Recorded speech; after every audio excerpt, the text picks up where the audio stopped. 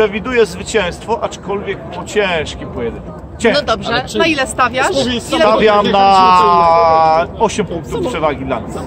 Plus 5. W okolicach 10 punktów. Plus 15. Nie będzie łatwo, ale wygramy. Plus 1. E, plus 10? Ale zgodność! Myślę też, że wygramy. Do przodu.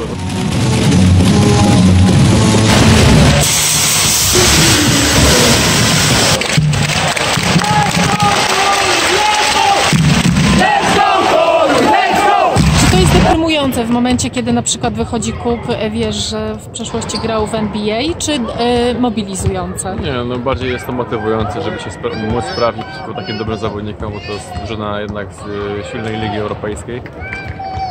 No, to bardziej dzisiaj było irytujące to, że po prostu graliśmy tak słabo i nie mogliśmy trafić. No właśnie, co się stało? Czy to jest zmęczenie po... Nie nie, no po prostu czasami się takie mecze zdarzają. Nie wchodziło. Jesteśmy po prostu źli, no bo i tak już minus 8, a, a mogli spokojnie trafić ze 3-4 rzuty więcej nawet z, z, z samego kosza.